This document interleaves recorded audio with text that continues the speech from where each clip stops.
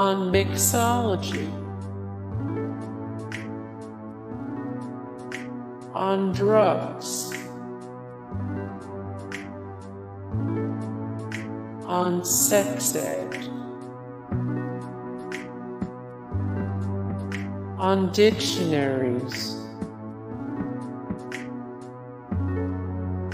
on Photoshop. On Facebook hacking, on numerics.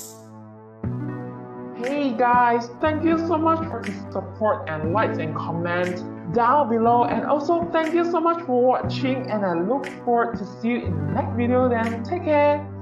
Bye.